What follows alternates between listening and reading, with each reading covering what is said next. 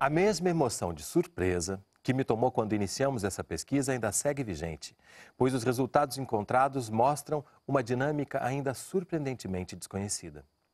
Permito-me comentar o quanto foi inesperado encontrar que a participação de mulheres, negros, jovens e não médicos, indicadores da democratização do poder local, é mais expressiva em municípios de menor porte, já que nos grandes centros, como fruto da competição mais acirrada, persiste o padrão tradicional de liderança. Democracia e Inovação na Gestão Local da Saúde é o livro do Ciência e Letras de hoje, um programa resultado da parceria entre o Canal Saúde e a editora Fiocruz.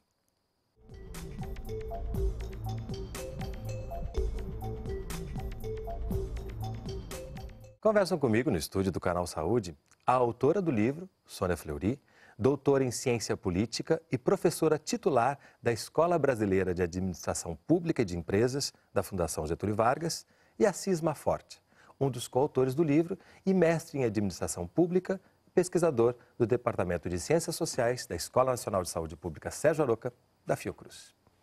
Sejam bem-vindos. Obrigado. Obrigado. Quando se fala em SUS, parte-se dos princípios de universalidade, integralidade, equidade, a importância da participação social e a estratégia da descentralização que nem sempre é tão lembrada e muito, muito pouco uh, estudada, pesquisada. Aqui temos um livro que supre de alguma forma essa lacuna quando mergulha no poder local. Né, que, que na medida que a municipalização acontece, esses gestores são empoderados. Por que essa pesquisa, Sônia? Por que esse foco no poder local para que a gente possa entender melhor esse sistema que ainda está em construção? Renato, eu acho que existem pesquisas sobre descentralização. Acho que a originalidade dessa pesquisa é o fato de que a descentralização é um processo e nós podemos observar o processo. O que eu acho que não existe são pesquisas que tenham essa longevidade. Ou seja, nós pegamos uma data e uma década depois fizemos a mesma pesquisa. Então, houve a possibilidade da gente ver o fenômeno ocorrendo e como, aprofundando a descentralização, o que, que ia acontecendo. Que eu acho que normalmente os estudos são pontuais, um retrato da descentralização, quando a descentralização é processo. E então, segue em processo, Segue em né? processo. Né? Então, a gente pode ver tendências, o que eu acho que é a coisa mais interessante. Dinâmicas, tendências, contradições e coisas que retroagiram, coisas que avançaram. Então, acho que essa é a originalidade. E a segunda questão é, é sobre por que essa pesquisa, né? A ideia de tentar entender essa, esse novo ator político que surgia na cena, né? que mudava a governança é, a nível local, né? mudava a possibilidade, criava a possibilidade de democratização do poder local e também averiguar o que a literatura aponta, mas que sempre é muito, Assis vai falar um pouco de ser muito eh, polarizado, né? Se a descentralização ela uh, melhorava a qualidade dos serviços, melhorava uh, por estar mais próxima o gestor está mais próximo do cidadão, ou se ela podia criar mais fragmentação, piorava mais as coisas. Então, essas questões que nos angustiavam, você concorda é com isso? A princípio, essa proximidade nos parece que uh, incrementa a uhum. democracia. Né? Ao fundo, o processo, todo o processo de centralização é um processo de reforma do Estado. Tá?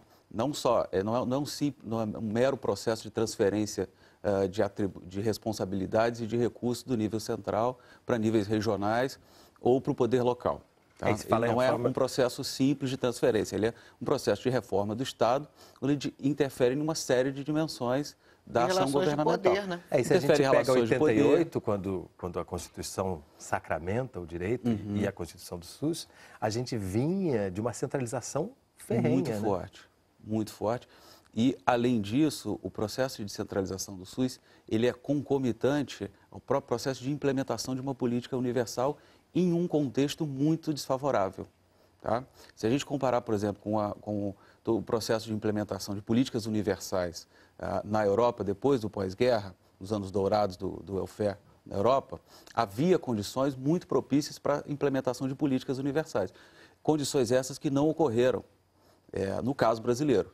Pelo contrário, no início da década de 90, a gente vivia um retrocesso em termos de, uh, de pensamento político uh, o, o, avanço de políticas neoliberais dificultou de uma, de, de uma forma imensa a implementação do SUS. Pode-se dizer até que ele é, foi uma resistência, né? Absurda, uma contra-hegemonia nesse é, sentido. É, o que a gente conseguiu ter como resultado desse esforço enorme de pesquisa foi, eu acho que, o maior banco de dados sobre é. descentralização na área de saúde. É, a gente tem um ponto de partida, a gente tem um outro ponto de comparação e a gente espera que em 2016 uhum. o Ministério da Saúde se anime a comparar de novo e ver por que a descentralização continua. Né? E nós já temos, nós conseguimos criar uma metodologia própria, que nós que inventamos, de como pesquisar a descentralização do ponto de vista do perfil do gestor, do impacto disso na democratização e na governança do poder local e depois a inovação na gestão.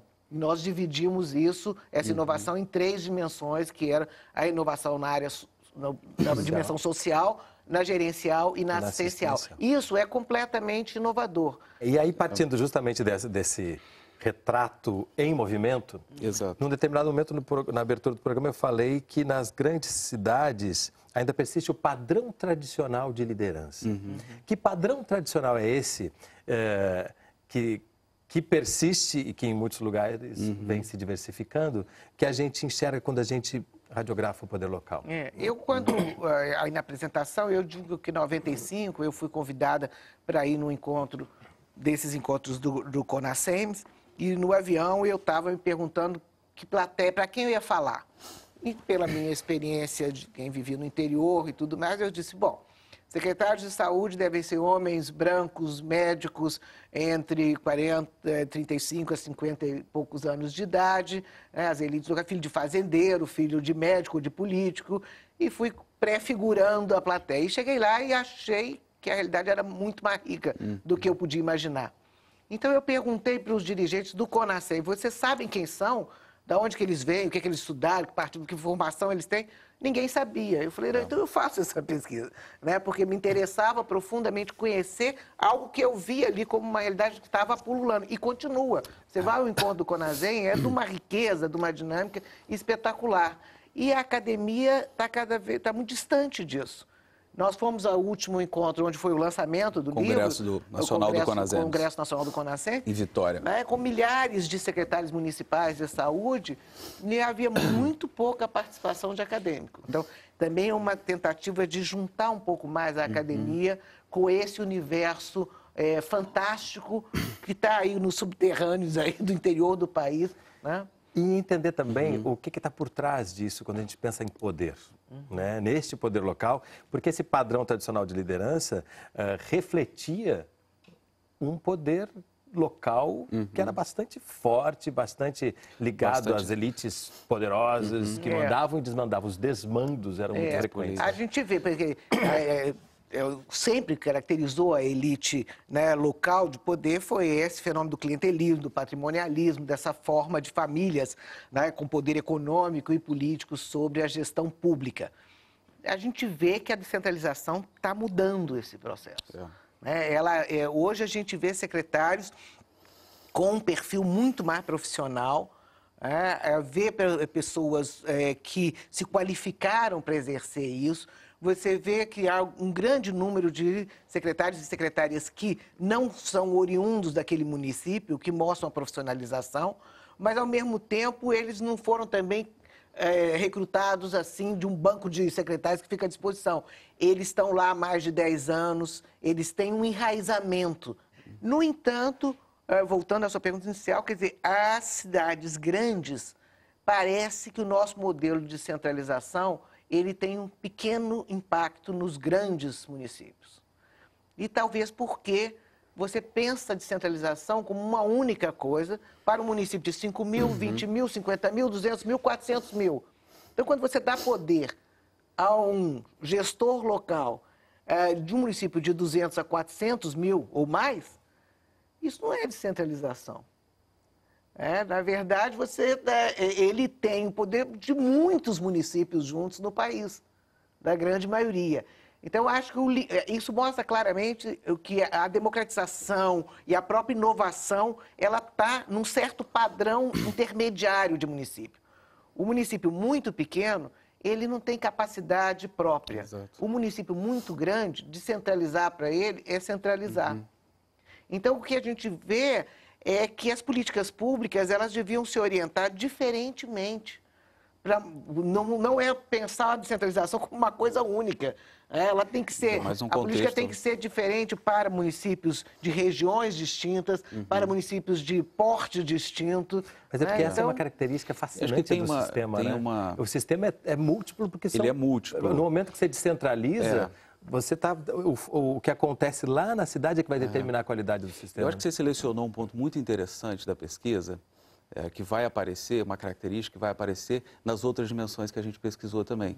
Quando você, a gente analisa o perfil dos gestores, a gente observa que ah, há uma convivência entre o tradicional, tá? o, o o- o tradicional e o moderno.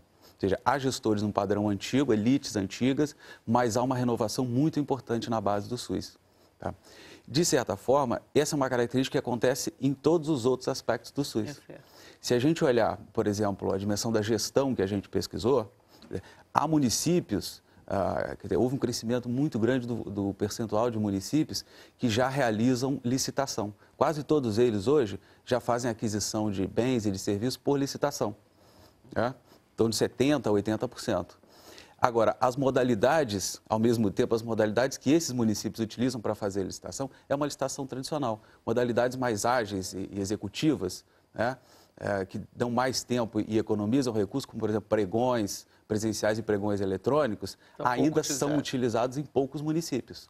Então, você vê a convivência entre o tradicional e o moderno. É como se a gente olhasse o SUS em todas as dimensões, tanto no- na, na dimensão política, ah, na dimensão da- elite política, na dimensão da relação Estado-sociedade, por exemplo, no controle social, na gestão, na organização da atenção à saúde, há convivência entre o moderno e o tradicional. É que o- uma coisa que o livro chama de padrão de inovação por adição. Por né? adição. E a gente vai voltar, porque agora eu queria também que a gente focasse mais na questão das inovações, que eu acho que é uma contribuição importante o que o livro traz, mas a gente vai deixar isso para o próximo bloco. Vamos sair daí, a gente volta já.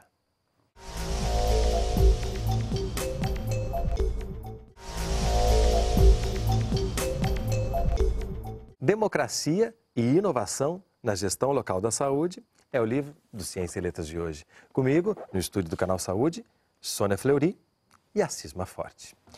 Então, vamos agora à questão da inovação. Quando a gente fala inovação, geralmente o que vem à cabeça das pessoas é- são as inovações tecnológicas de ponta. Que dá- Aqui a gente está falando de uma inovação de que tipo?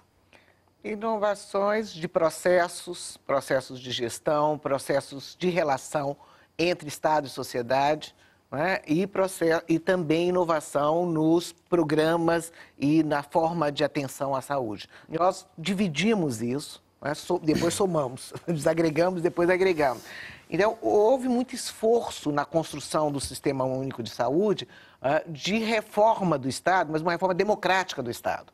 Ou seja, criar mecanismos de prestação de contas, criar formas de interação entre ah, grupos organizados da sociedade e os gestores públicos, né? dividir o poder e compartilhá-lo em um certo sentido, aumentando o controle social e a participação da sociedade. Tudo isso ficou sobre inovações na área social das formas de interação entre Estado e sociedade, formas de prestação de contas, forma eh, de eh, controle que a sociedade pode ter sobre isso. Na área gerencial, né, Assis pode falar mais, nós temos um conjunto de mecanismos também que são imprescindíveis para levar adiante a descentralização. Você E podia me falar? parece também que é uma das, das mais frágeis, se a gente pensar É, no é sistema. né? frágil, mas é, e tem uma relação muito. Os tipos de, de, ah, de inovação que a gente encontrou, em geral, são inovações que eh, normalmente a gente chama de o learning by doing, né? você aprender fazendo. Quer dizer, que são inovações que você faz no cotidiano. eh, a partir da sua própria necessidade, da necessidade do gestor e dos quadros técnicos de assumir as responsabilidades e dar conta eh, do recado. Geralmente a literatura eh, trabalha a inovação como a introdução de ah, um- um- uma tecnologia nova, algo que revoluciona como a internet. O que a gente encontra no SUS é, na maioria das vezes, uma inovação que é incremental. Você vai, vai inovando, vai criando formas de fazer a partir da própria necessidade do fazer concreto do cotidiano da gestão.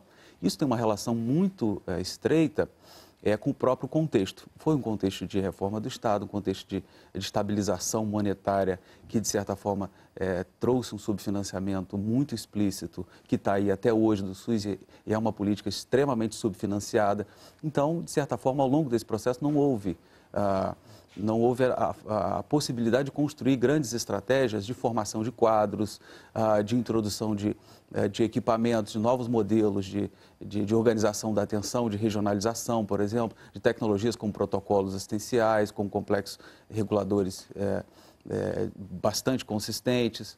Então, aos poucos, o SUS foi se fazendo dentro de um contexto de restrição. Nós observamos o seguinte: as maiores, na, na área de tecnologias sociais, de, uhum. né, nós podemos dizer que as maiores inovações se dão no nível local. É, o orçamento participativo foi assim, é uma tecnologia social. Os conselhos, as conferências, uhum. né, surgem a partir de experiências, é, em geral, locais e depois elas. Mas a difusão, é, uma é a origem da, da inovação, a outra é a difusão da inovação. A difusão da inovação ainda é fundamentalmente é, impulsionada pelo papel do governo central.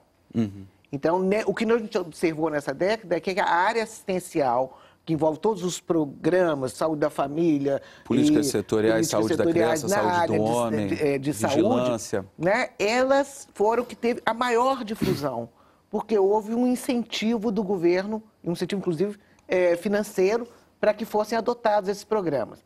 Claro que o incentivo financeiro, ele faz com que a adoção seja rápida, porque todo mundo quer ganhar um dinheirinho para fazer isso, mas não garante sustentabilidade. Se o governo tirar o dinheiro, não se sabe se isso vai continuar.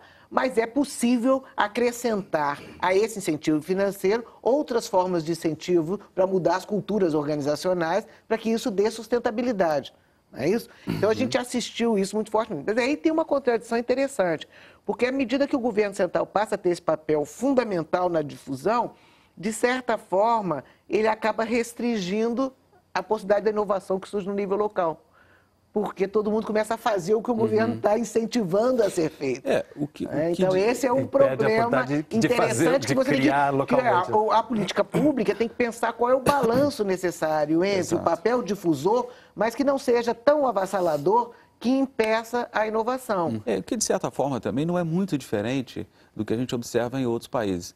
É, sempre o governo federal vai ter uma capacidade de indução e de formar políticas nacionais. É, até porque é atribuição do governo federal. É, a descentralização não faz com que isso desapareça. Né? Pelo contrário, em sistemas como o SUS, por exemplo, onde a descentralização foi concomitante, a própria implementação do, do, do sistema de saúde, numa política uh, universal, de um modelo que é diferente do, do anterior, dizer, nesse sentido, o, o, o papel do governo federal ele aumentou com a descentralização. Se a gente olhar, por exemplo, vários indicadores que mostram uh, o papel do governo federal, todos esses indicadores mostram que o papel do governo federal aumentou muito ao longo desse processo. Especialmente Todo... nessa área assistencial, né? porque, por exemplo, Bastante. na área, é, o que a gente observou em termos de... Nós encontramos três curvas diferentes em 96, né? em que em 96 nós tínhamos assim... O esforço inicial do SUS foi de criar conselhos, criar formas de participação e tudo isso. Então, Como essa área da inovação social estava mais difundida parecia uma curva normal. Uhum. Já a inovação gerencial, eram poucos que faziam muito, mas muito poucos. Né?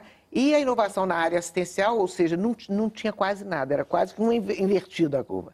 Eu, então, era o que expressava aquele momento.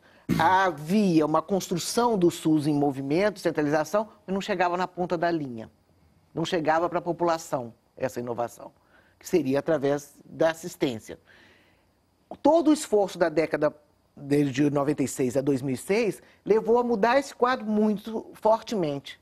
Né? Nós tivemos um avanço enorme na área assistencial. assistencial, induzido pelo governo central, e tivemos recuos nas outras duas áreas. Então, o governo central, se ele é fundamental para difundir inovação, ele precisa difundir inovações gerenciais não só na área de assistência. É interessante, né? Porque à medida que vocês vão falando, eu vou pensando aqui que a gente tem um, um, uma evolução analisada de 1900, 1996 até 2006 e a gente está quase completando mais uma década. 2016. 2016. Eu fico imaginando Isso. como que essas coisas avançaram de lá para cá. Pois é, nós podíamos pensar que pode estar acontecendo. Nós vimos tendências, né? E a gente não sabe se elas foram, uh, em qual dinâmica que elas estão indo agora. Pode ser que uhum. uh, os mecanismos de regionalização que foram muito Possível. incentivados de lá para cá que foi né? um dos focos, inclusive, é, né, possam estar é. É, favorecendo Aliás, algumas tendências. Essa é uma das grandes riquezas da pesquisa, que é um diferencial que eu não vi em nenhuma outra, que é o fato de a gente ter, ter tido uma felicidade muito grande de escolher dois momentos estratégicos da, da implementação do SUS. Um em 96, onde a municipalização estava começando ainda, então havia poucos municípios que, de certa forma, assumiam responsabilidades para além da atenção básica. É, eram 144, 150 municípios ao final de, de 96, 97, que efetivamente assumiram as responsa responsabilidades uh, do SUS, assumiram a sua, o sistema de saúde como um todo. Então, a gente observou tendências, mas como um processo de difusão de inovações, ele é errático e, de certa forma, ele tem ritmos diferentes, em regiões diferentes, em portes municipais diferentes, é, a pergunta que se fazia naquele momento era para onde vai é, para onde vão essas inovações? As inovações iniciais, que eram muito, ah, é, muito elogiadas, como por exemplo o, ah, os conselhos, eles se manteriam como ah, um espaço de democratização? Então, essas tendências a gente pôde verificar num segundo momento, em 2006, onde todos os municípios já haviam assumido algum tipo de responsabilidade. Isso. Então, a gente conseguiu olhar quais foram as tendências que se consolidaram em 2006. E também, é o que a gente vê é essa coisa da adição, né? Vai por camadas e não não limpa a parte mais tradicional. Não limpa. É, então, por exemplo, você vê mecanismos hoje de, de gestão da atenção, né? Com é, formas de, de ambulâncias, é, uhum. é, centralizados, você marcação de, de consultas e tudo mais, mas ao mesmo tempo você vê que o, o, planejamento ainda se baseia em coisas que seriam para estar superadas. Hum. A demanda espontânea e o número de pessoas na fila. São ainda é, é, coisas importantíssimas para o gestor. É assim que ele baseia aonde que ele deve colocar recursos e tudo mais, olhando o tamanho da fila e dessa demanda espontânea. Uhum. A gente pensava que isso já estaria superado por um planejamento com critérios né, mais científicos, racionais, mais racionais, programados e tudo mais. É interessante porque uma pesquisa como essa, ela reforça o processo de construção do sistema, que muitas vezes é esquecido pelas uhum. pessoas. E também ele é um sistema relativamente novo, se a gente pensar na história do país. Né? Por isso que venha 2016 com uma nova pesquisa para a gente entender como que essas coisas avançam. Eu, te, eu queria falar duas coisas que eu acho que são importantes. Uh, nós analisamos os mais e os menos inovadores dentro do... E uhum. as variáveis que apareceram como mais importantes para distinguir um grupo do outro não foram o partido político, a região, a formação, nada, nada disso. Foram a, a formação, sim, desculpe. É, foi a formação, se ele tinha feito cursos específicos na área de saúde pública, na área de financiamento, na área de legislação de uhum. saúde, esse, os que fizeram isso são muito mais inovadores. E a trajetória dele dentro do sistema de saúde é muito importante também. A trajetória ele dentro passado, do sistema, ter passado por outras, outras ter, funções. Isso, ele ter vindo, de certa forma, do chão, da ponta do serviço, é muito importante. E isso a, é outra, a outra questão importante é também o papel do CONASEM e desses várias instâncias conferências, de tudo, participações internas ao setor. Eu uhum. termino só dizendo o seguinte, há uma um adensamento desse setor para que a vida política e o conhecimento dentro do próprio setor, eles cada vez estão mais para dentro disso. Uhum. O que uhum. mostra o enraizamento do SUS, mas mostra que está perdendo raízes na sociedade. Este é um problema uhum. a ser pensado pela política pública também. Bom, agradeço muitíssimo a presença de vocês aqui conosco, que essa pesquisa siga pela importância, pela relevância que tem para a construção do nosso Sistema uhum. Único de Saúde. Muito obrigado. Obrigado. Obrigado. O programa Ciência e Letras da Fundação Oswaldo Cruz é resultado de uma parceria entre o Canal Saúde e a editora Fiocruz. Se você quiser entrar em contato, mandar sua crítica ou sugestão de leitura, nosso telefone é 0800 701 8122. A gente se vê no próximo programa. Até lá! Para entrar em contato com a editora Fiocruz, acesse www.fiocruz.br/editora ou ligue para 21 3882 9007.